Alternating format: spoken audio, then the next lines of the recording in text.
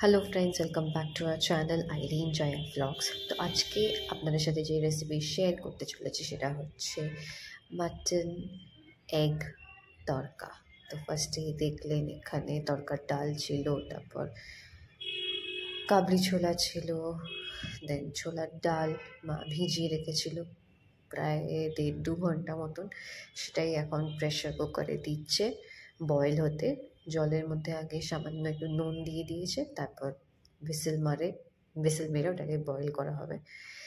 দেন লাগছে পেঁয়াজ, chop, tomato, ধনে পাতা, আদা কুচি, রসুন কুচি, কাঁচা লঙ্কা আর লাগবে মাটন এখানে মাটন ফ্যাটটা বেশি আছে মোর দেন মাটন পিসেস অল্প একটু রেখে দিতে বলেছিলাম মাকে, যাতে মাটন তরকা বানিয়ে খেতে পারি। তো এখানে মা প্রেশার কুকারে ভেসেল দিয়ে এটাকে একদম সেদ্ধ করে নিয়েছে। একটু ঘ্যাট মতন হবে।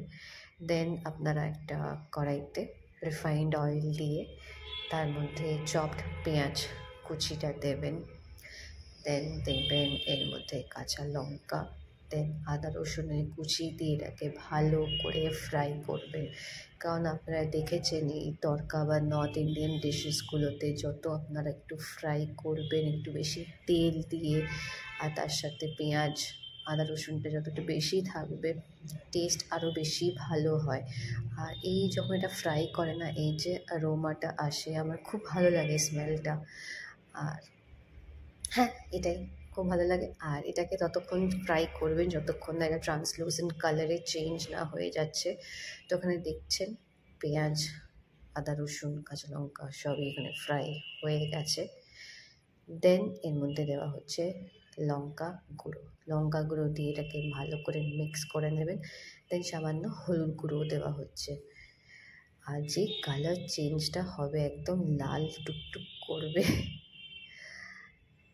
দেখতেই পাচ্ছেন কালারটা চেঞ্জ হয়ে গেছে। আরও এটাকে কষিয়ে আরও একদম একটা ডিপ কালচে কালার হয়ে গেছে।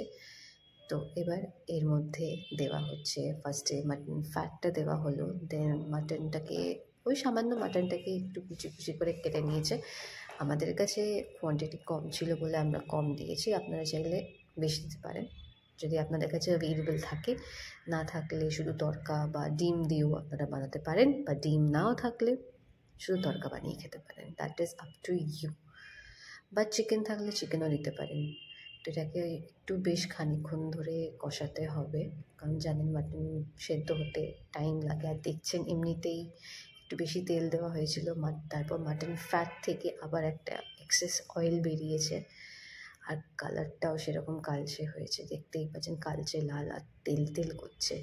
তারপর আরও একটু সামান্য নুন দেওয়া হলো, কারণ মাংসটায় নুন দেওয়া হয়নি। ওই বয়েল করার টাইমে মা তরকার ডালে নুন দিয়েছে। আর ট্রাস্ট মি এটা এত ভালো হয়েছিল না, খেতে আমার মা খুব ভালো রান্না করে। আর এক এক সময় মাকে মনে হয় যে আমি মাকে ন্যাশনাল অ্যাওয়ার্ড বা অস্কার একটা আমি দিয়েই ছাড়বো।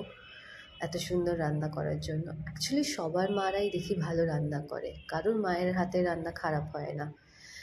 তো এবার ওই কষা মাটনটার মধ্যে দিয়ে দেওয়া হলো বয়েল ডালটা। এবার এটাকে মিক্স ভালো করে মিক্স করে নেবেন। যে মশলাটা, তেল, তেলে ব্যাপার যেটা হয়েছে, তার সাথে ভালো করে মিক্স করে কিছুক্ষণ বয়েল হতে দেবেন। স্লো কুকিং করবেন এটা এটায় ফ্লেমটাকে কমিয়ে দেবেন বা মিডিয়ামে রাখবেন। Let it take some time to cook তো এখানে দেখছেন, এটা একটু কনসিস্টেন্সিটা একটু চেঞ্জ হয়েছে থিক থিক হয়ে গেছে। ডালটা মিশে গিয়ে একটা ওই ঠিক একটা গ্রেভি টাইপের হয়ে গেছে।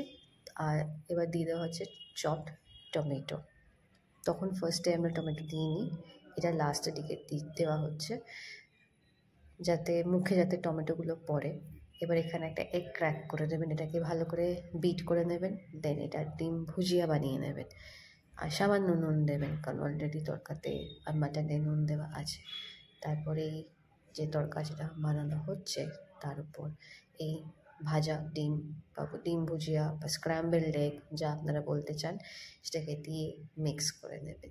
এই ডিম, মাটন, তরকা দারুণ। চাইলে আপনারা ভাত দিয়েও খেতে পারেন, রুটি দিয়েও খেতে পারেন রুমালি রুটি দিয়েও খেতে পারেন that is up to you এবার ফ্রেশ ধনে পাতা। এখন এই টাইমে ধনে পাতা যেই রান্নাতে আপনি দেবেন টেস্ট দারুণ হবে। তার মানে এটা না যে শুধু ধনে পাতা দিলে রান্না ভালো হবে, রান্নায় কষ্ট করতে হবে, তাহলেই টেস্টটা ভালো আসবে। তারপর একটা কড়াইতে, এটা ফ্রাই প্যান আমাদের অ্যাকচুয়ালি তার মধ্যে ওয়ান টিস্পুন মতন ঘি দিয়ে দেবে। এবার এটাকে মা, এটা বানাচ্ছে মা ছক। তো এখানে ঘিটা ভালো করে মেল্ট হয়ে গেছে। এবার বেশ ওয়ান টিস্পুন মতন এখানে লঙ্কা গুঁড়ো দেন কসুরি মেথি দিয়ে এটাকে সঙ্গে সঙ্গে তুলে শিফট করে দেওয়া হবে। পুরো পুরো ঢেলে দেওয়া হবে তরকা যেটা বানানো হয়েছে। এটাকে ছক বলে হিন্দিতে। বা বাংলায় আই গেস ফোড়ন বলে। ইংলিশে কী বলে? I don't know I have no idea sorry about that ছকটা দিয়ে এটাকে ভালো করে মিক্স করে দেবেন। আর এটা সত্যি খুব ভালো। আগে মাই ছক ফক দিত না, কিন্তু তাও ভালো হতো তরকা আর এই ছকটা দেওয়ার পর তো আরও লাভলি খেতে হয়েছে, ফাটাফাটি খেতে হয়েছে। তো এখানে দেখছেন ওর থেকে কাসুরি, মেথিটাও বেশ উপরে দেখা যাচ্ছে। এই রান্নাটা খুব খুব খুব ভালো হয়েছিল। আপনারা চাইলে বাড়িতে অবশ্যই ট্রাই করে খেতে পারেন। চাইলে মাটন ডিম স্কিপ করতে পারেন if not available okay bye